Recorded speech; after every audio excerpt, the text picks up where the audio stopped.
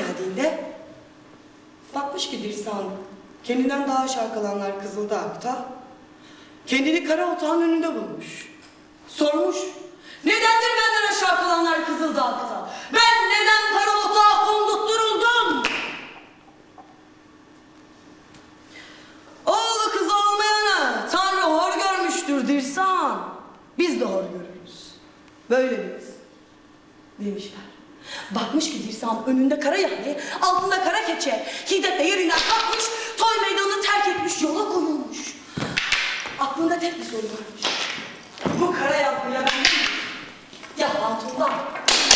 Bu kara yazgı ya bendendir, ya hatundan. Bu kara yazgı ya bendendir, ya hatundan. İşte artık böyle yol mu uzanırmış, ona mı yol uzun gelmez, gelmiş bilinmez. Nice vakit sonra evine varabilmiş. Hanesinin ortasında hatununu aş yaparken görmüş. Birden bir kalbi titremiş. Kalbi dile gelmiş. Evimin bahtı, kalbimin sultanı, kara saçlım, kara gözlüm, al yanaklım. Döleyim. Sonra birden toy meydanında söylenenler aklına gelmiş. İşittin mi? Duydun mu olanları? Kara otağa kondurturuldum önüme kara yahni getirildi altıma kara keçe serildi. Söyle hatun, bu kara yazgı ya sendendir ya benden. Bu kara yazı ya sendendir ya benden. Dirsan, incitip de acı sözler söyle. Kalbimi dağlama, kalk yerinden doğru.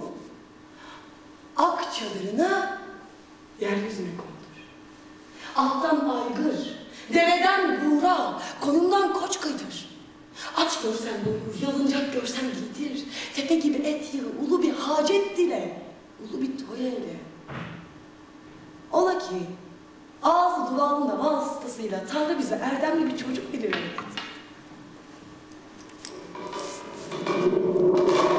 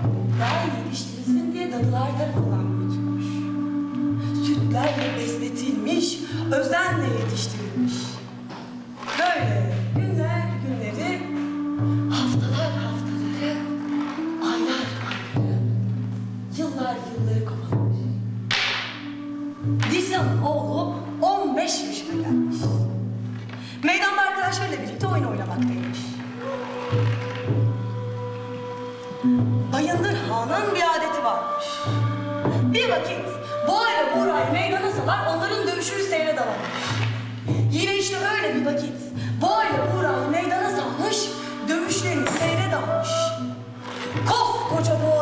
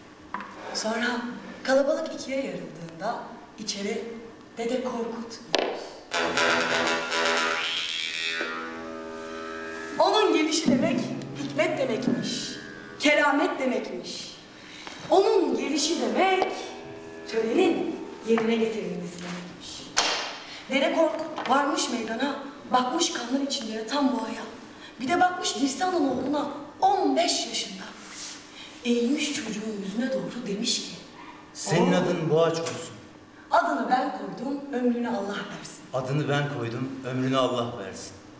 O gün Boğaç böyle at sahibi olmuş.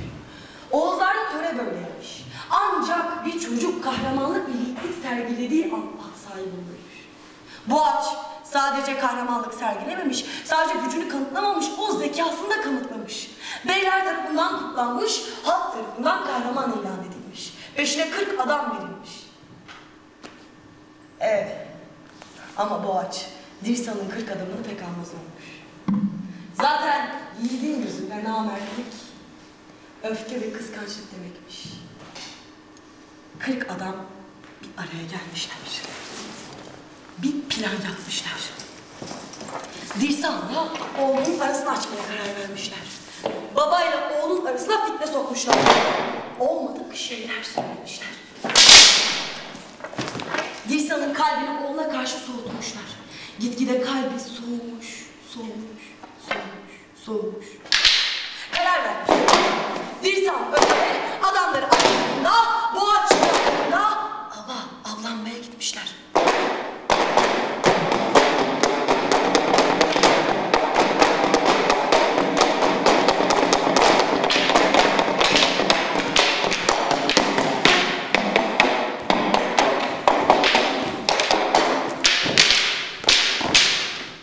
Av avlamışlar, kuş kuşlamışlar.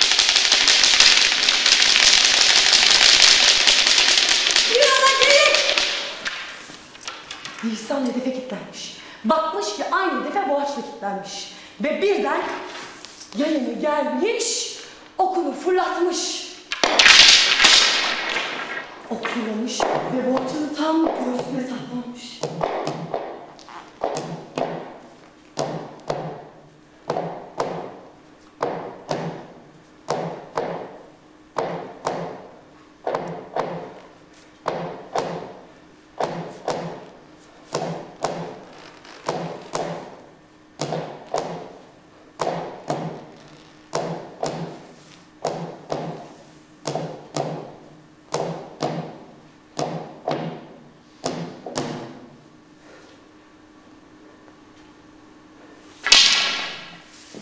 Şimdi oğlunu kaderiyle baş başa bırakmış değilsem yola koyulmuş. Ama evin içinde hatunun onları beklemekteymiş.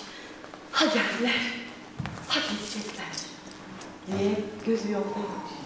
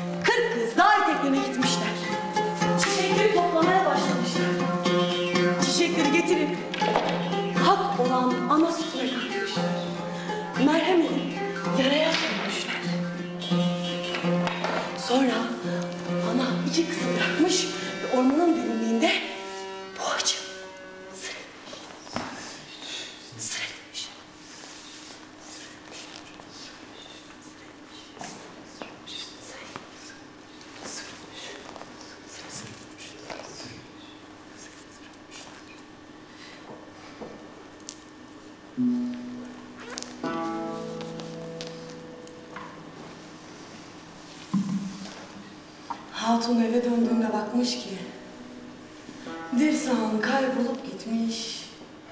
Kara bir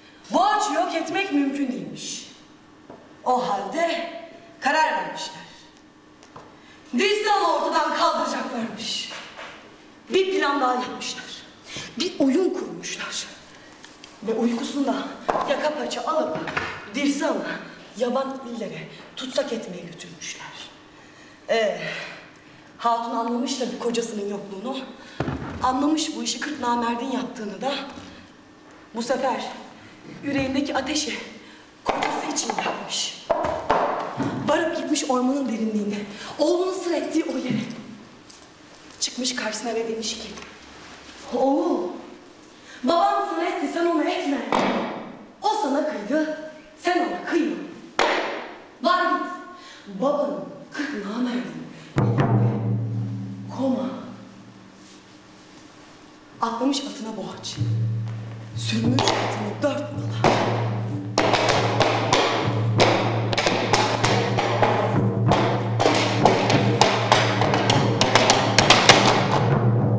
Boğaç Harun'la Kırk Namber tam karşısındaymış. Boğaç da onların tam karşısında.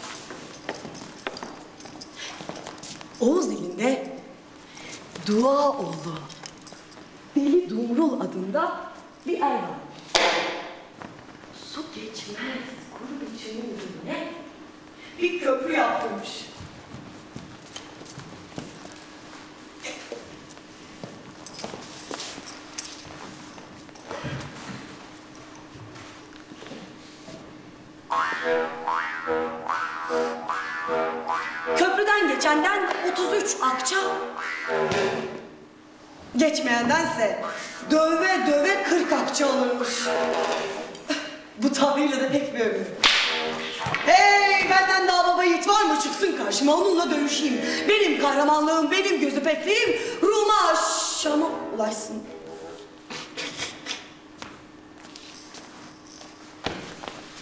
Bir gün köprünün diğer tarafındaki bir obada yaz bir delikanlı hasta olmuş.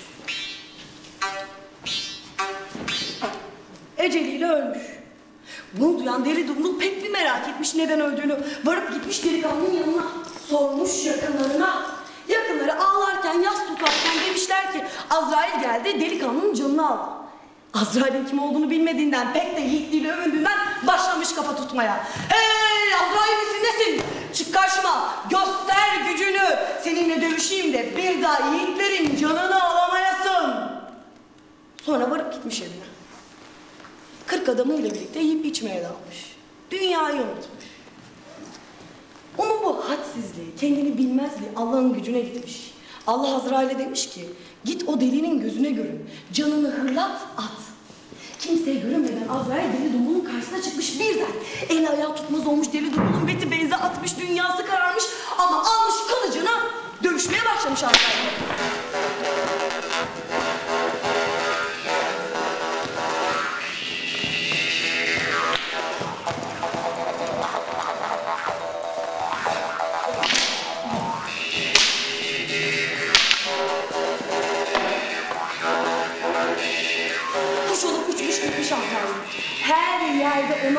Deli dumru. Bütün yolların izini sürmüş. Önüne çıkan bütün güvercinleri kılıçtan geçirmiş. Sonra atlamış atına, sürmüş atını dört nala. Atın karşısına çıkmış. Azrail at ürküp durmuş. Deli dumrul yere düşmüş, kafasını vurmuş. Birden Azrail gelmiş göğsüne konmuş. Aman dilemiş deli dumrul. Canını bağışlasın diye gözyaşı dökmüş. Azrail can verenin ve alanın Allah olduğunu söylemiş. Can verenin ve alanın Allah olduğunu öğrenen deli dumrul ellerini açmış bu sefer Allah'a yalvarmış. Canımı alacaksan sen al. Bu Azrail'e beni bırakma diye yalvarmış. Onun bu yalvarışını duyan Azrail'e demiş ki dur. Söyle ona. Kendi canı dışında başka bir can getirirse bana bağışlarım onun canını. Allah'ın bu buyruklarına Azrail iletmiş deli dumrula. Deli dumrul demiş ki bir garip babam bir kocamış anam var. Varıp gideyim yanlarına. Verseler verseler bir tek onlar verirler bana canını. Atlamış atına sürmüş babasının yanına. Çıkmış babasının karşısına büyük içtenlikle başına gelenleri anlatmış. Can istemiş. Ama babası gür akan pınarını, altınlarını, gümüş paralarını, develerini, kuzularını, bütün malını, mülkünü, her şeyini Azrail'e verebileceğini, ancak canını veremeyeceğini söylemiş. Büyük bir üzüntüyle yola koyulmuş Azrail, deli dumrul. Bu sefer gitmiş anasının yanına. Yalvarmış, başına gelenleri anlatmış. Vallahi dünya tatlı, canımdan daha tatlı. Canımı verebilemem, iyice bilesin deli dumrul. Demiş anası. Düşmüş yola bu sefer karşısına çıkmış birden Azrail. Azrail hazırlan canını alacağım demiş. Deli'nin başına gelenleri anlatmış. Azrail demiş ki, o ananın, babanın vermediği canı anam gitti kimseden istemez. Sana kimse vermez. Bu sefer Deli Dumrul demiş ki, bir hasretliğim var, iki oğlum, bir karım. Gideyim emanetlerimi vereyim, helalleşeyim, sonra gelip sana canımı veririm. Biraz zaman kazanmış. İşte böyle düşmüş yola yürüyor. Önüne kim çıksa derdini paylaşmış. İstemiş.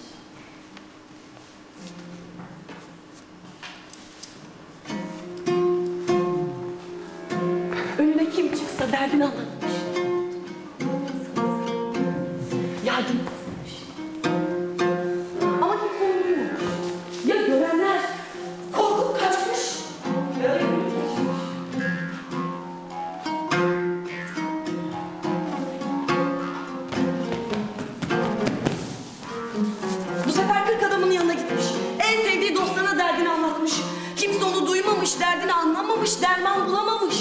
Çaresiz yollara düşmüş deli dumrul.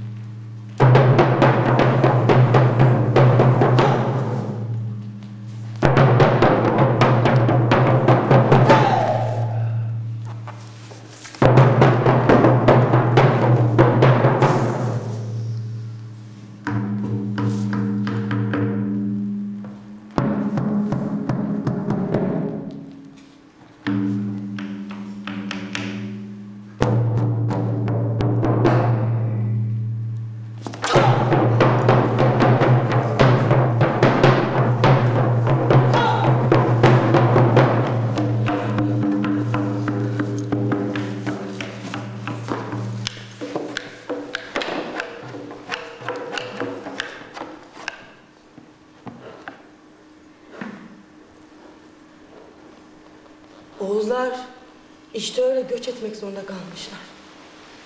Ellerine geçen iki parça eşyayı almışlar. Yurtlarını öyle bir acıyla terk etmişler. Arkalarına dönüp bakamamışlar bile. İşte o kargaşada Aruz'un küçük lolmancığı düşmüş, ormanın içinde kaybolup gitmiş.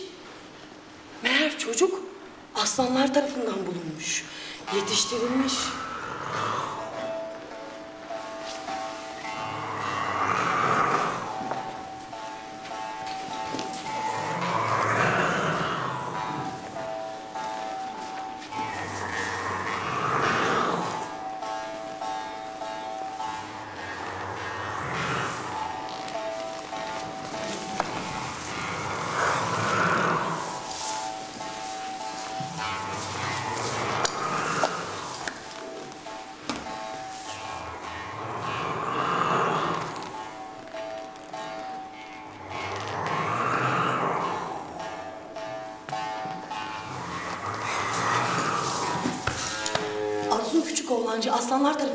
Bulununca insan olduğunu unutmuş bir hayvan gibi davranmaya başlamış.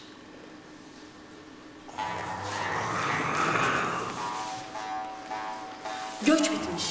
Düşman saldırısı geri çekilmiş. Oğuzlar yurtlarına geri dönmeye başlamışlar. Bir sevinç varmış Oğuzların içinde.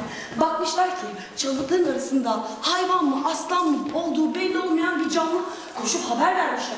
Arız Koca demiş ki bu oğlancık benim oğlancık olabilir. Varıp gidelim getirelim çocuğu. Gitmişler Oğuzlar çocuğu bulmaya.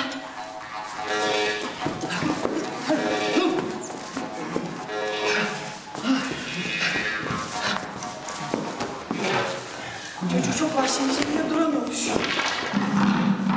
Her seferinde kaçıp kaçıp gidiyormuş.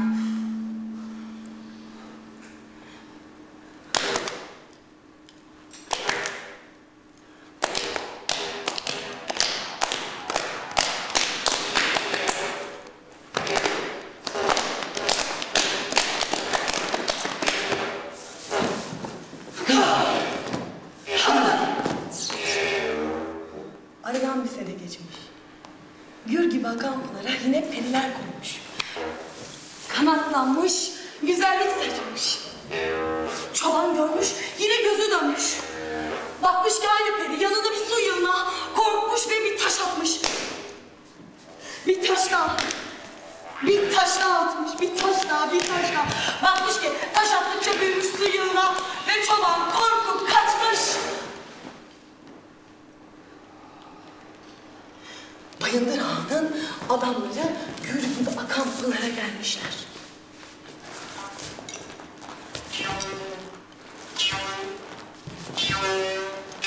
Su yığınağını görmüşler.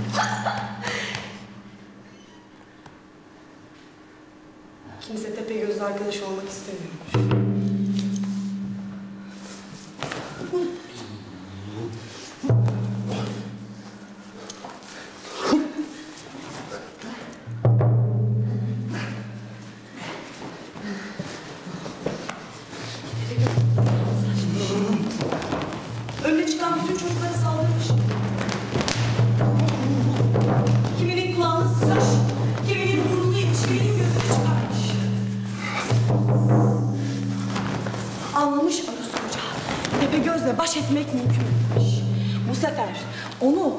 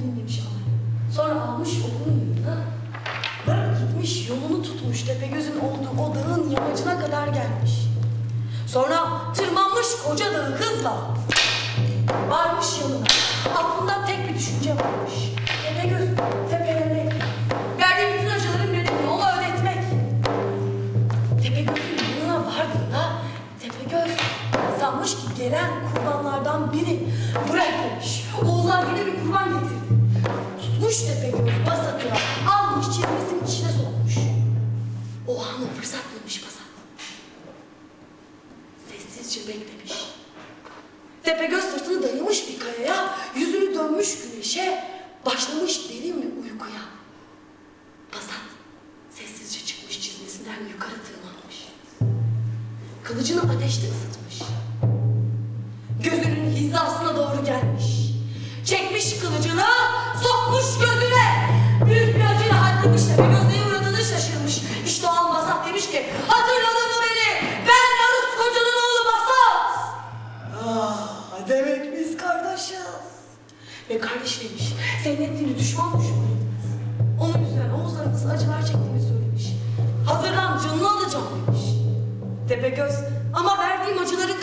benim de gözüm kör oldu demiş. Büyük bir öfkeyle Tepegöz'ün üzerine doğru tırmanmaya başlamış Hasan.